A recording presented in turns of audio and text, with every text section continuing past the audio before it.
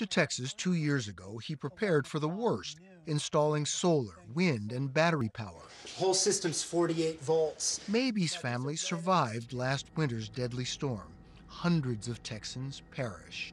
And the deaths were largely due to hypothermia, carbon monoxide poisoning, because when people got cold, they would do things like, uh, you know, go into their car in the garage to try to stay warm. Mabee has become a thorn in the side of the federal government and utility companies. I filed a complaint about supply chain cybersecurity. I filed a complaint about physical security. I filed a complaint about the Texas blackout. The government and the industry, they think you're an annoyance? I've been termed a grid security gadfly, which I wear that as a badge of honor. One frequent target, the Department of Energy. Mabee told us the grid information the DOE puts out is confusing and dispersed.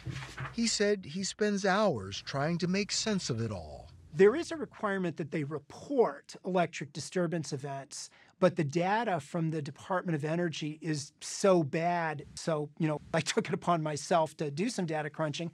And what I found is that 38% of the electric disturbance events in the United States are due to physical attacks. 38%? That's yes. a lot. So, in the past decade, there have been over 700 physical attacks against the U.S. electric grid. Many are copycats of the Metcalf assault. In 2016, an eco terrorist in Utah shot up a large transformer, triggering a blackout. He said he'd planned to hit five substations in one day to shut down the West Coast. In 2020, the FBI uncovered a white supremacist plot called Lights Out to simultaneously attack substations around the country.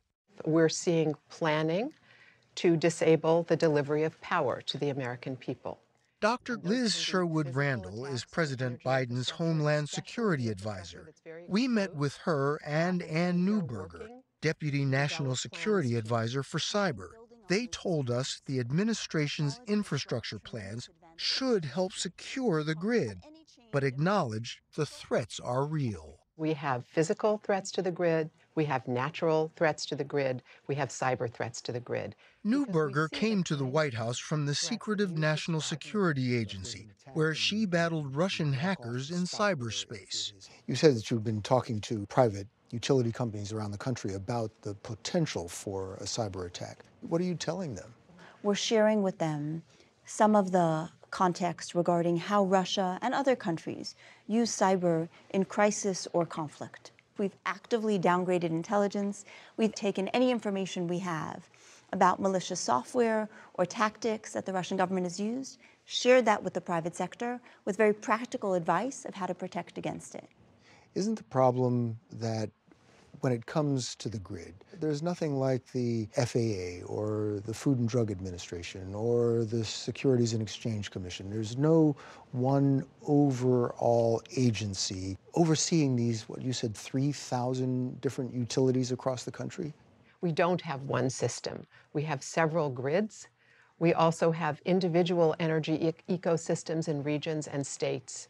And that's part of our strength because the resources for energy are different in different regions. And we have to acknowledge that we're not going to have a one size fits all system. You call it one of our strengths, but it, it, it, also seems to be one of our vulnerabilities.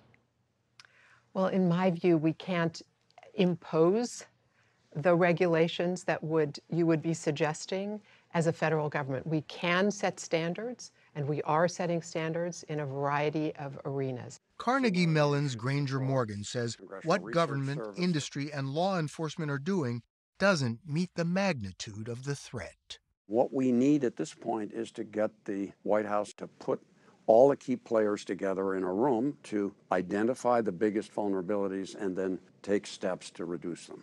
I'm surprised that's not being done. It has not been done, and it needs to happen now.